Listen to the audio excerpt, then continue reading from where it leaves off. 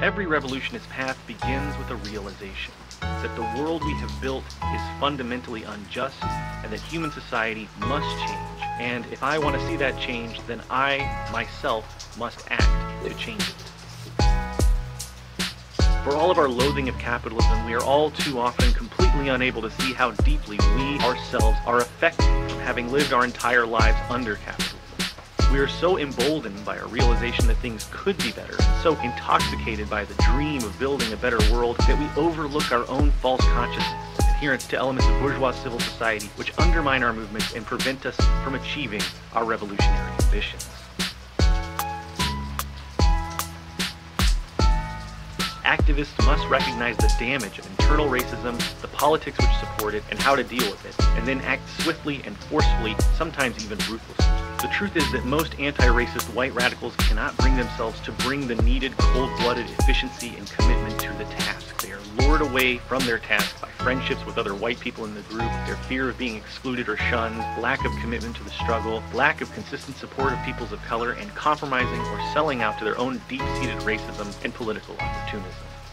Capitalist society stifles collectivism at every level. We are taught to distrust each other, compete with each other, and demean each other at every turn. In our schools, in our workplaces, and in the mass media which we consume every day of our lives, we are conditioned into a sort of mass solipsism.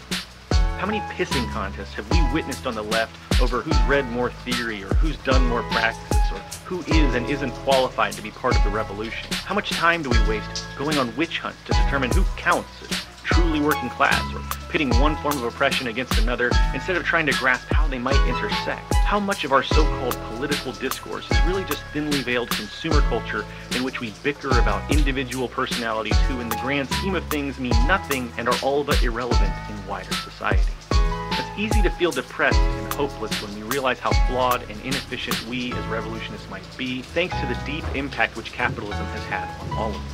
When I look at all the unnecessary infighting and competition in leftist spaces, it can be overwhelming. We have such a long way to go.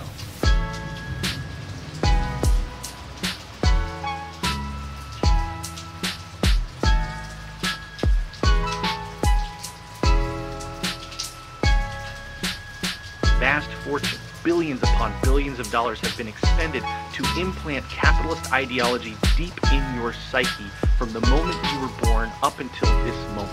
If you think you are immune, if you think you have cast off the mental chains and freed yourself from the prison in your mind, you are almost certainly fooling yourself. Sure, the Western left is deeply flawed and broken, and we have a long way to go and a lot of growing up to do.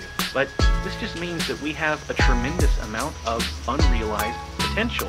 If we do manage to erode the false consciousness within ourselves, to dissolve the individualistic and competitive mindsets which plague all of us, and to overcome our differences, to work towards common goals, just think of what we might be able to accomplish.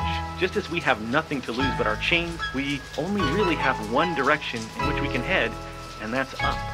As undeveloped as we are, we have so much potential for growth, and that gives me hope that we might be able to align our dreams with reality, dissolve that false consciousness, and find a path forward to victory. This is Non-Compete. Thanks for watching.